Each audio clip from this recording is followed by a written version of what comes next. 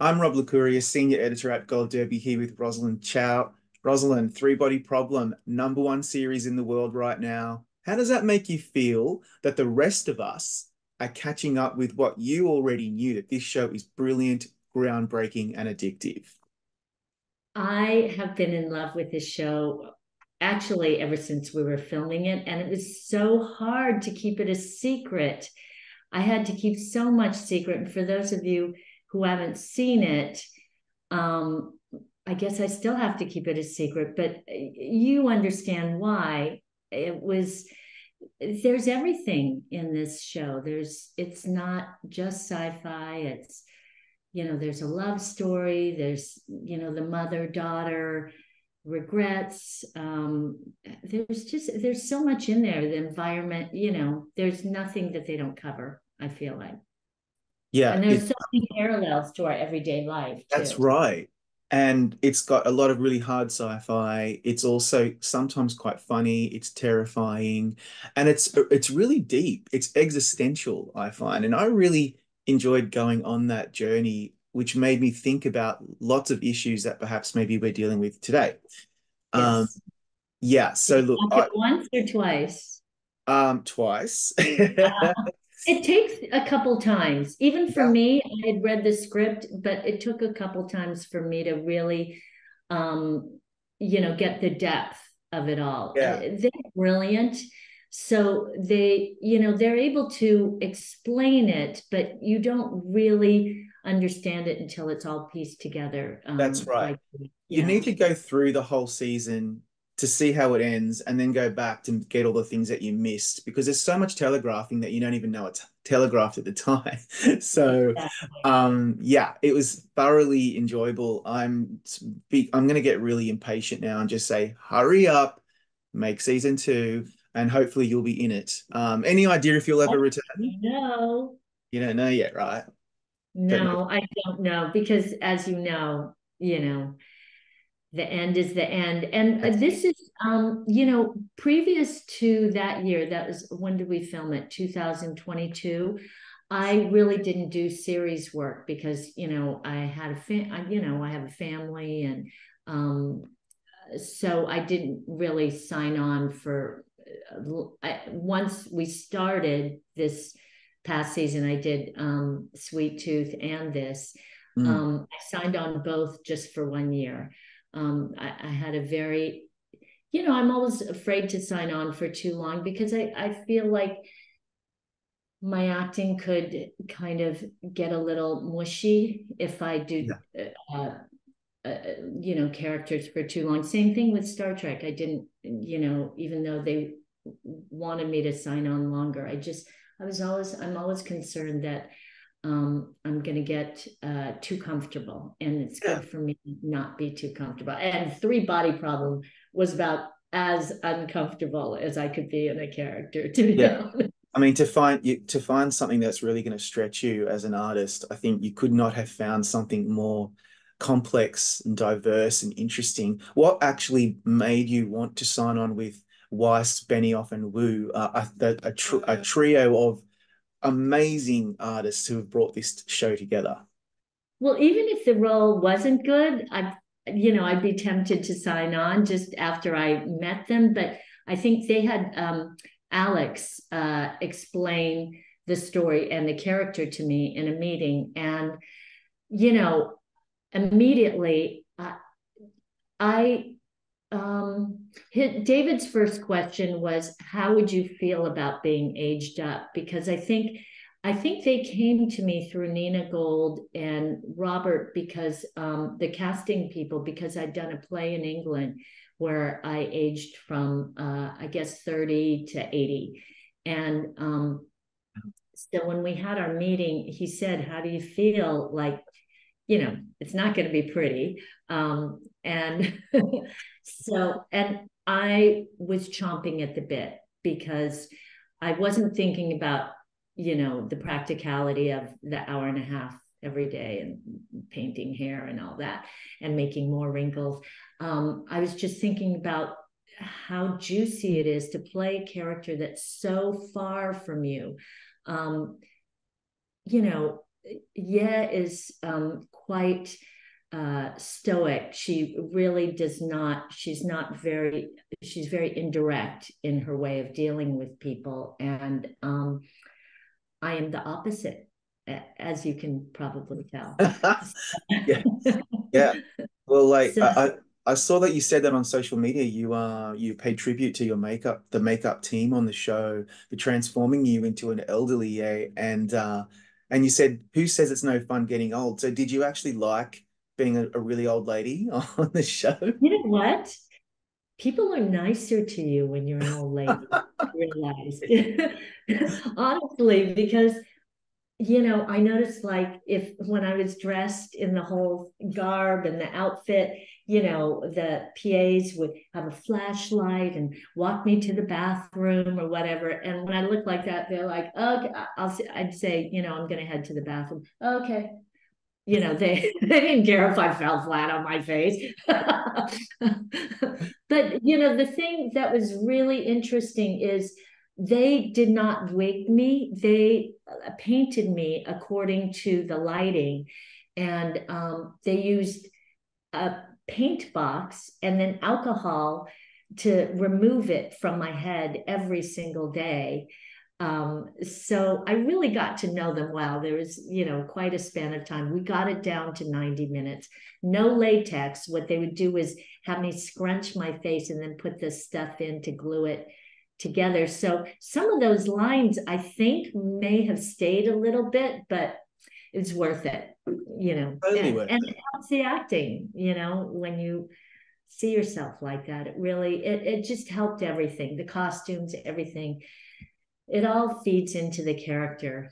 It was juicy. It was a really fun, a hard work. The most uh, probably the hardest working job I've ever had because we had to condense it, um, all my scenes into two months. Everybody else had been on it for like almost two years, I think. But mine had to be content, condensed into two months because I was doing another Netflix show. And um, so it was a lot. It was a lot.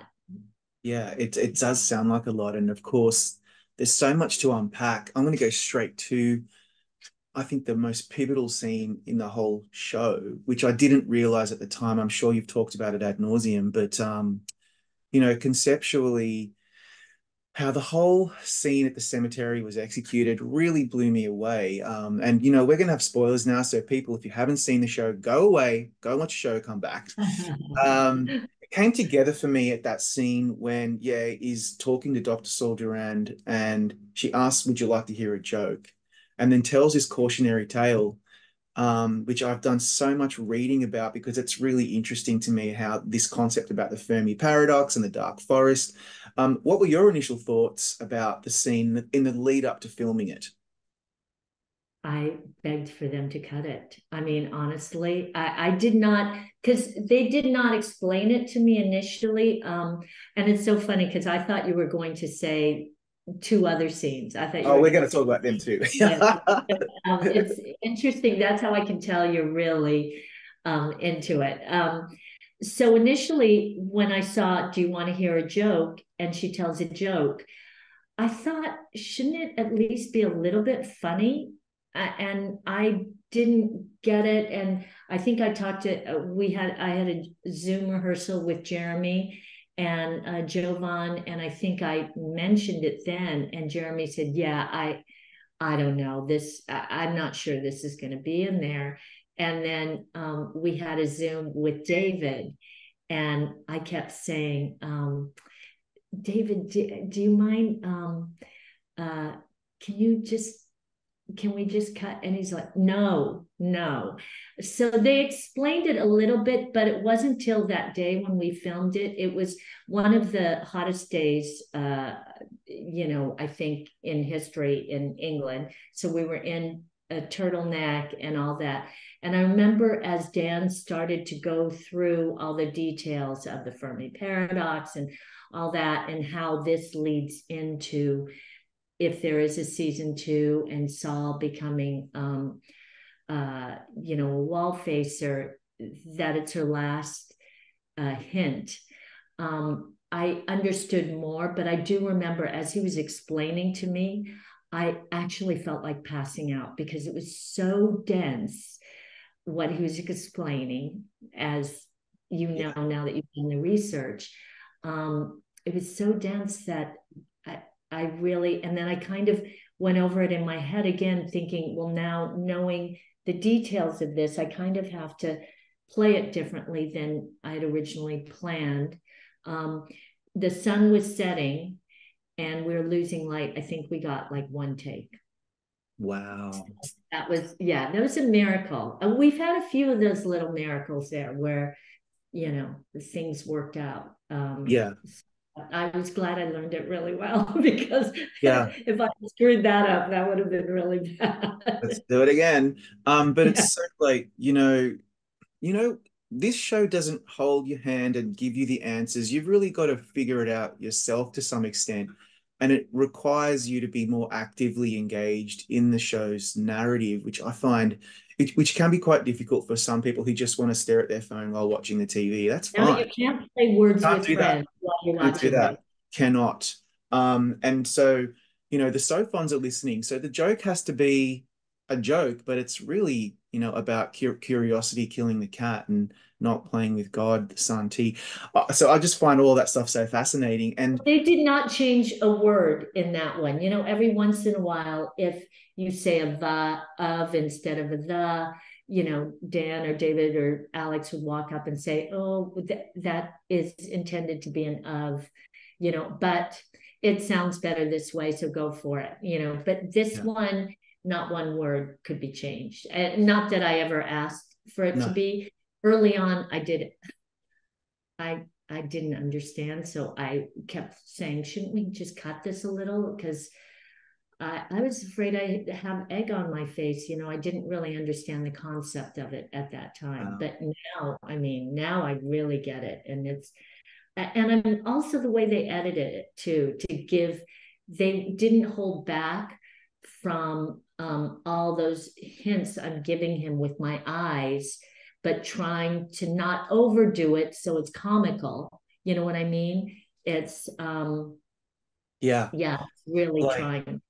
You've just hit the nail on the head because I find your performance in this show to me is so compelling because of all the non-verbal cues that you're doing throughout that I really noticed on my second watch. The oh. joke is an attempt to alert Saul, of course, to the Dark Forest concept, but she's the only real human being to know the weight of what she did years ago back in China. And that weighs on her.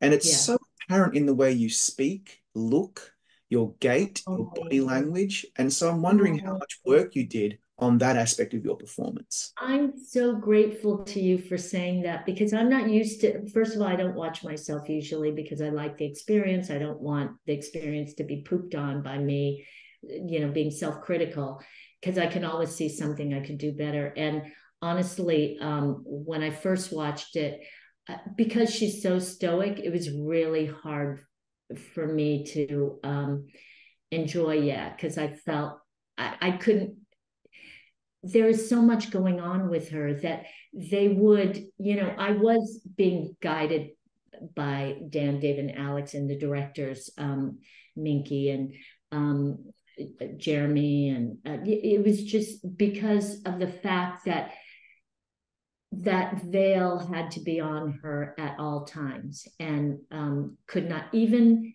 even in the moment in the bedroom. I remember thinking, think this is a private moment. This is when it can all, you know, and they were like, nope, because you're just about to make that phone call to Saul. You're still can do. Or in the in the prison, the last scene with um, uh, Benny, uh, you know, it, that was really hard for me when he talks about my daughter. And in real life, I do have a daughter, and it was really hard for me to not just, you know, my nose is running, my eyes are running, and we have to go back and just try and, you know, rein her in. And that for me, that was really, that was the hardest work. Normally, as an actor, you know, it's good to let things out and Um, and I think a lot of people struggle with that. I struggled with the blocking it off. And um, I definitely remember saying to the boys at one point, they were at the uh, monitor and they were like, Roz, too much, too much, hollering. And I remember saying, I can't stop. and right. they had to give me a moment to try you know but uh, yeah, yeah it's, it's, a team effort it's always a team effort so i yeah. thank you so much for saying that because it um it just makes me feel like it wasn't i wasn't yeah it wasn't a stone you know no i mean at the funeral whatever uh, the memorial yes i thought what's what's going on with her what's her problem then of course afterwards i'm like yeah she has to keep it under wraps um you know but at the Red Coast, I think it's episode seven. It's beautiful episode directed by the amazing Jeremy Podeswa, and you're with um, Marlo Kelly, another fellow Aussie, and um, yeah, we love those Aussies. We love them. She that scene is so good because finally, yeah, you can just kind of let it go a little, and she can be honest and open, and it's so emotional. Um, the Santi have to take her out, and she knows that. So was that a particularly emotionally challenging scene to get right, not to overplay, not to underplay? What was going on there? Well, once again, that was um, that was my first day of work. Wow, so, really? Yeah, because I, I had um, for me to take the job, I didn't want to miss my daughter's graduation, and they worked. They changed the dates of the mountain to make that work, which to me you know, that was pretty amazing that they did that. And so I really did not want to screw up. Um, and as much as you think you have a handle on the character, I, you know, you don't really until you've finished at least one scene. And that first scene, to have that first scene be on the cliff, her last scene was a little scary. Also um, the weather was not cooperating because they wanted that shot. I can't remember did they get the shot of the sun at the end? I thought they um, did yeah i think they got it. But there was um and it was cloud cover the whole time so you couldn't even tell we were in that beautiful environment for some of the shots but then the clouds parted literally because it was so windy. Um, that was the other thing. It was really hard for that that scene between us. And at the last minute when i put my head on her shoulder i thought the sun's going we're not i'm you're trying to not think about all the technical stuff but we knew we had one day on that mountain and you can't erase it from your head unfortunately and the clouds parted and the sun that orb came out so it was i, I did feel like a little charmed. Whereas when we were standing on the cliff, I thought, oh my God, with the wind and it, it was, you know, not, um, it, they were very safe. They were cautious, but, you know, I, being how I am, I kept thinking, oh, I could just go a little bit further, closer to the edge, and they wouldn't let me. But um, no. No. yeah, that was that was technically challenging but yeah jeremy and he's he's so calm that's the thing when he's i even told him this that when he's uh, directing you you actually it's i told him it's almost like if you had a really good doctor who comes up to you and tells you you know uh, so you have to eat this and maybe take this med or it's, uh, I don't even go to doctors very often, but I'm imagining. yeah. Yeah he has that calm demeanor when he talks to you. So, um, and we had an amazing camera crew. Um, Dave, our um, our steady cam guy, was very steady and uh, just you know, it's a team effort. It really is. But still, they definitely wanted, even in that moment, and that was the beginning. So I didn't know where everything else was going. So in that moment, yes, still had to have her guard up because the Santi can see and hear everything, and she doesn't want to give up. You know, she's still yeah. she's still fighting, even though it's the end. But she's I think she's fighting to the very end.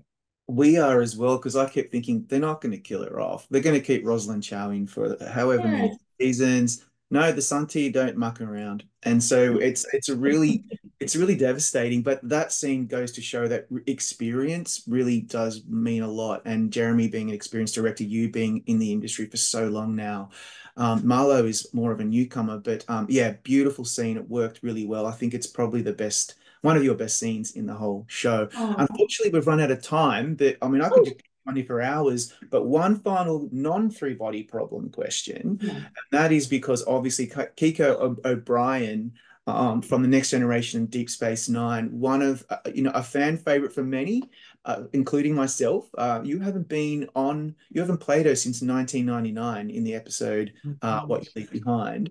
And so, given the recent Picard series reunion, I was wondering whether you ever think about her and what would she be doing now gosh, I, I, is it terrible to say I don't? I know no. I don't think about her. Isn't that terrible? No, um, she's a distant memory now. Yeah, I mean, if even that, because at the time, you know, honestly, at one point there was a little uh, game quiz at one of LeVar Burton's um, Reading Rainbow fundraisers and they had a game as to how much you remembered from past episodes that you'd done and i failed. I lost by a mile. I i honestly i i don't remember a lot of it. I'm not a huge sci-fi fan as i've said so many times um, but you know the next generation had a a life to it that wasn't just sci-fi and i feel this too and when you play sci-fi you do have to take out all the non-human element, make everything human. Yeah, grounded. Yeah. Yeah, you have to ground it. Exactly. Mm-hmm. Well, Rosalind, thank you for your time today. Congratulations on some really amazing work in Three Body Problem, and hopefully uh, we'll see you again for your next project. Thank you. Thank you so much. It was a pleasure.